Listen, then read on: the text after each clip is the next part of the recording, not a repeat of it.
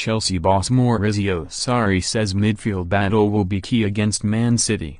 Maurizio Sarri believes the midfield battle will key on Sunday if his Chelsea side are to strike a second major blow on Manchester City's title challenge this season. Reigning champion City were on a 21-match unbeaten run which stretched back to the previous April when they travelled to Stamford Bridge on December 8. February 10, 2019. 3.30 p.m. live on but they were stunned by Chelsea and went on to lose two of their next three league games and hand Liverpool the impetus in the title race.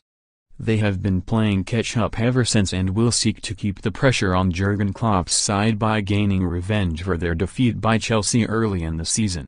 Both teams boast a wealth of attacking talent but Sarri feels the battle for dominance in the middle of the park, where Fernandinho will be key for City and Jorginho will have a pivotal role for Chelsea, will go a long way towards deciding the outcome.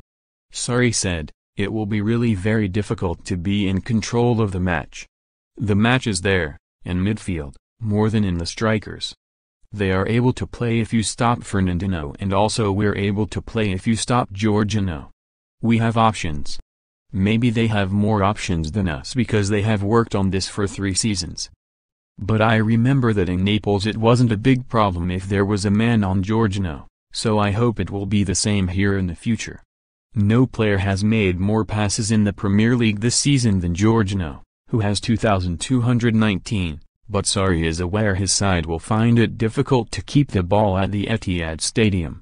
I expect Guardiola's team want to always be in control of the match, always in possession of the ball and they're able to do it. So it's a very difficult match. Sarri said. We are used to having the ball and possession so on Sunday it will be very different. We will try to play our football, but if they are able to play their football, of course, you have to stay lower, deeper. Predict 6 correct scores for your chance to win £250,000.